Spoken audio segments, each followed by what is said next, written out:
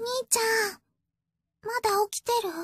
あ可愛く見えて、あんま可愛くない。ごめんね、こんな時間に。今日のこと、謝っておこうと思って。とりあえず、おっぱい見して。どうしても外せない用事があったから、お兄ちゃんに美味しいご飯作ってあげられなくって。本当にごめんね。死ねうん、気にするよ。ちゃん、いつも私の晩ご飯楽しみにしてくれてたんだもん。くたばれ作り置きも考えたんだけれど、お兄ちゃんにはやっぱり作りたての料理食べてもらいたかったから。だからなんだよ。聞いてねでも大丈夫。明日からはちゃんと作るからね。くさ。別に、お兄ちゃんのこと嫌いになったとか、そういうわけじゃないよ。本当だよ。話長すぎるんですけど。どっちかっていうと、うん、なんでもない。何も言ってないよ。うん、本当になんでもないから。絶対ビッチじゃん。あ、そうだ。お昼のお弁当はどうだった？いつもと味付けを変えてみたんだけど。ゴミのようでした。そっか、よかった。口に合わなかったらどうしようって思ってたんだけど、これで一安心ね。なんで？もう、そんなの気にしなくていいよ。え？家族なんだから。もう知らない人にその態度やばない？料理とか洗濯とか、私の取り柄ってそれくらいしかないし。おー、可愛らしい。それに、お兄ちゃんはいつも私の料理を美味しそうに食べてよ。ありがとうございます。夜ご飯はお寿司ですね。焼肉とお寿司でお願いしますよ。偏僻なもん出すんじゃねえぞところでお兄ちゃん、さっき洗濯しようとして見つけたんだけど、このハンカチ、お兄ちゃんのじゃないよね。誰の？あ、わか藤原達也った綾瀬さんのハンカチでしょ誰？匂いでわかるもん。それで、どうしてお兄ちゃんが持ってるの？拷問されるよ。逃げろ逃げろ逃げろ。やばいってこのじいちゃん。お兄ちゃん怪我したの？その時に借りたって、怪我は大丈夫なの？あちこちに怪我をしていて、腹部からはひどい出血もある。そっか。大したことなくてよかった。は？君ちょっとぶっ飛ばしていい？あのハンカチについてた血、お兄ちゃんのだったんだ。ちょっともったいないことしたな。なんで？こんなことなら、血のついた部分だけ切り取ってから捨てればよかった。うん、なんでこいつ何言ってんのかわかんない。とりあえず気持ち悪い。もないよただの独り言だからお前、頭おかしいじゃねえの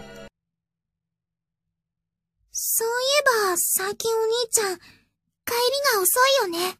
えう、うんとね、あのー、床を舐めてました。図書室で勉強？ああ、あのおとなしそうなクラスメートの人でしょ？知ってる。誰？でもあの人っておとなしいっていうより暗いよね。あんな人と話してたら、お兄ちゃんまで暗い性格になっちゃうよ。お前、頭ん中マジハッピーセットすぎん？お兄ちゃん、昔は私の話ちゃんと聞いてくれてたのに、最近はあまり聞いてくれないよね。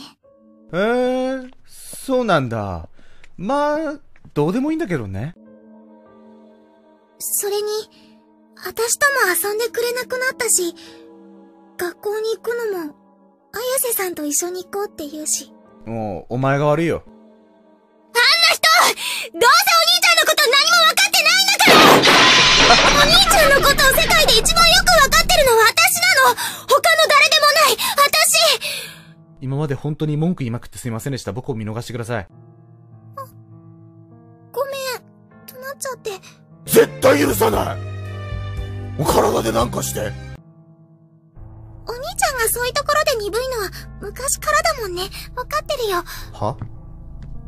それはそうと、今日の晩ご飯どうしたの？焼肉と寿司って言ったやんけ。そっか、外食したんだ。お金渡しとけばよかったね。それで、一人でご飯食べたの？三品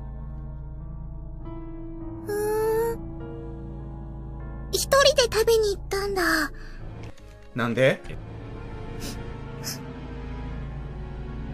やっぱりあの女の匂いがする。お兄ち誰ゃんの嘘つきわちゃえさてめえこのボケ。どうしてそんな嘘つくの？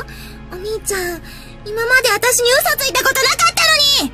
お前そろそろ寝よそっか。やっぱり綾瀬さんのところに行ってたんだ。さあ、おなって寝よええ手料理食べさせてもらったの？それはよかったね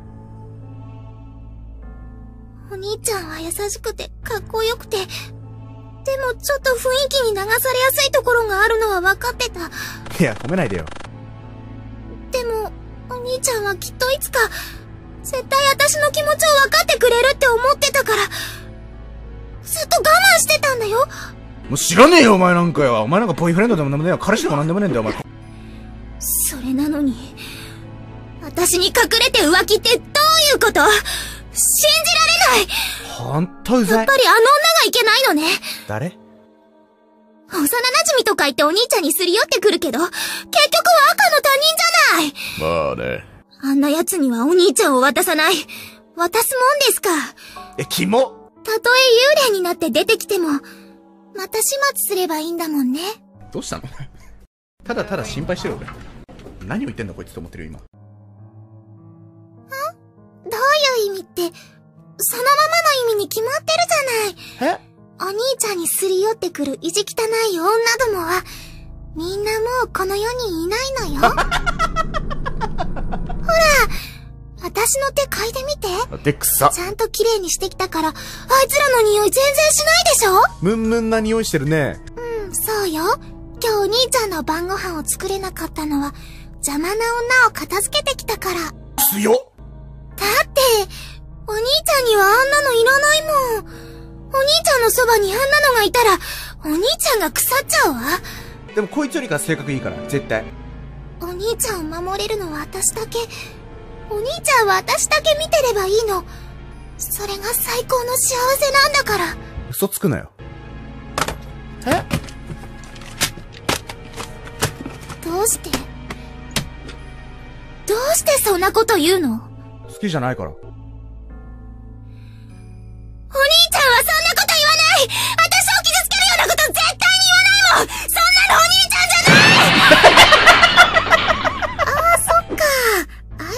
いつの料理食べたからきっと毒されちゃってるんだ。だったら早くそれを取り除かないと。何これもう。もう意味わかんないんだけど。でも料理を食べたってことは、口の中もあいつに毒されてるんだよね。食道も、胃の中も、内臓がどんどんあいつに毒されていくんだ。なんでやろ、これ。じゃ何が起きてんあ、の私が綺麗にしてあげなくちゃね。もうダメだダメだ。この世界おかしくなってる。